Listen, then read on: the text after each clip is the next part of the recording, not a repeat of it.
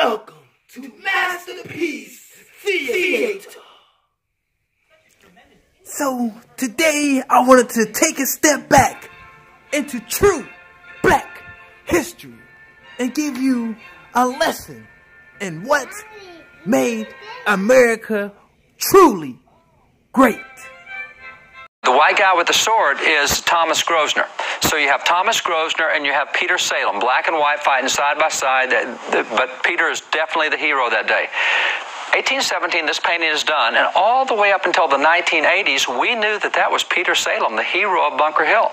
1980s, the professors got together and said, "Oh no, that's not Peter Salem. Um, we think that that's Grosvenor's slave, is who that is. It, it's, it's, not Peter Salem." Oh, you're kidding! No, in the 80s, they, they changed that from Peter Salem to Grosvenor's slave, Asaba, and that's what they say. Oh no, it's not Peter. It's a Asaba Grosvenor. It's his slave how come the guy who painted it and the guy who was there and the guy who saw it and painted what he saw had him as Peter Salem, and now we've all convinced, oh no, it's just they were courageous Americans who won the battle, and we don't, we can't afford to say that. That'd make America look good.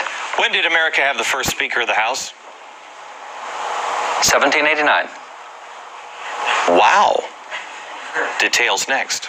Exactly right. All right, David, explain quickly. Let's go through these people. Let's go through these. Uh, this guy right here, this is Lemuel Haynes. Lemuel Haynes is uh, a soldier in the American Revolution. He's a black preacher. He's the first black preacher ordained in America that was a pastor of a white congregation in Vermont, Massachusetts, New York, several places. Hey, he, wait, a black professor in black a preacher, white. That's right, in a white, white Yeah, black uh, uh, black minister. The black minister in a white church in four different states. He was ordained in the Congregationalist denomination in 1785. Mm-hmm. He received. He's the first black to receive a master's degree in America. He got that in 1804 from Middlebury College. So Lemuel Haynes, uh, every year on Washington's birthday, he preached a special sermon about George Washington, his commander in chief, in all of his churches where he was. So we don't hear about Lemuel Haynes. Uh, this is Benjamin Banneker. I think he's the most brilliant scientist in American history. This guy, wow. unbelievable what he did. He is, he's the guy. More who, so than, than uh, Franklin? Uh, I, I, would put Franklin and Banneker almost equal. Now, Franklin Holy did cow. a lot of inventions.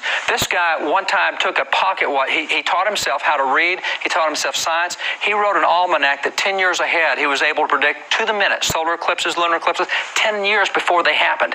I mean, by, by watching the motion through a telescope, it, unbelievable what the guy did. He once took the back off a pocket watch, saw how it worked, went home and carved a wooden clock with all the gears, mainspring, and it was accurate to within one minute a year. A wooden clock the Holy guy did. Cow. He's the guy who laid out Washington, D.C. He, he's the, the surveyor who did all that. He's a brilliant mathematician. Jefferson gave I him. Never a, knew this. No. Jefferson gave him an example to France. Said, "Hey, you guys in France think that blacks are inferior? Here's Benjamin Banneker." Okay, I have Jefferson two minutes total, so okay, quickly right there, and then we have one. Right here, James Armistead. We talked about the first Yep. double spy, really cool guy. This is Richard Allen. He's the first founder of a black denomination in America. Uh, he is a soldier in the American Revolution. He actually is the first guy to practice medicine, taught by sign of the Declaration, Dr. Benjamin Rush. Just a really cool story. Okay. So really cool. All right, good. Now tell me. Here to these guys. Now let's take the uh, Now, full, full of the uh, the first uh, representatives. I asked, when did we have our first black Speaker of the House? Uh, when did we have the first Speaker of the House? Uh, 1789. 1789. When did we have our first black Speaker of the House? I bet most people would say never. Never, except it was right here. Joseph Hayne Rainey. Joseph Hayne Rainey of South Carolina is first black to preside over the House of Representatives. Uh, these are the first seven blacks elected to Congress. You have here Senator Hiram Rhodes Revels, the first black U.S. Senator elected. He was a minister of the gospel. He was a missionary. He worked with Frederick Douglass. He recruited three regiments of black soldiers in, in the uh, Civil War, and he was a missionary to slaves in the South. Uh, you, have here Benjamin Turner, uh, Josiah Wall, the large. Th- this guy right here is really cool.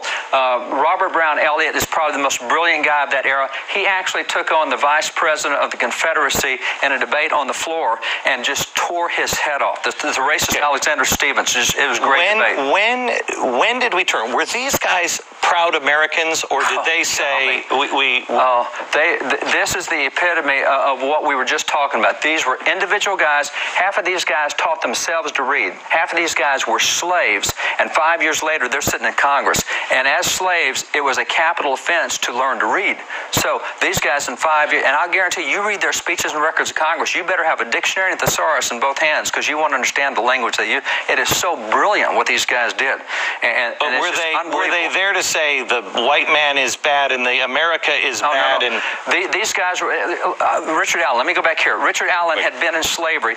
Richard Allen was in slavery, and he held no bitterness at all. He says God would not allow bitterness even in Joseph when he was in prison. Do you think God will allow it in us? He said we can't have bitterness. He said, by the way, there were some whites who held us in slavery, but it's whites who are working for our freedom.